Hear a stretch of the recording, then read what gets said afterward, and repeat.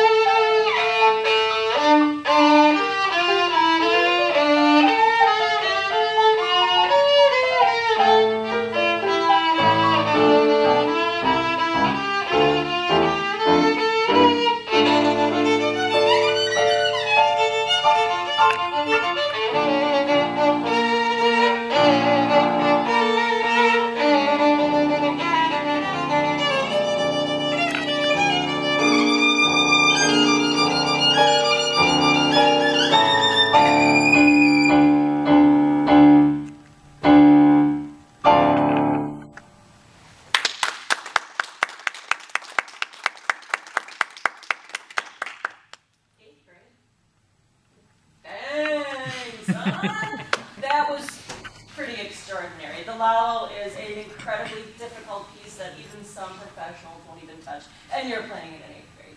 Yeah. Um, some glorious things happening, my friend. Um, my probably my favorite part is about about a measure 100. You go go, into this dolce espressivo, which means what? Sweetly. Sweetly, uh, exactly, not kind of, exactly. And expressively, and from all the angry, angry, angry at the party, and just digging into the, you know, I hate everything. And then it became, I actually kind of went, "Ah, that was so nice there. Hearing that huge change and hearing it executed very, very well. Um, and it's very fun to watch, you know, your hand doing all this glorious, uh, position work, that it was a lot of fun to watch you as well as listen to you. So I wish I had more time with you, I simply don't. Um, to hear an eighth grader play the first movement is nothing short of extraordinary. So thank you, Jack. You're my Jack Attack of today. Thank you again.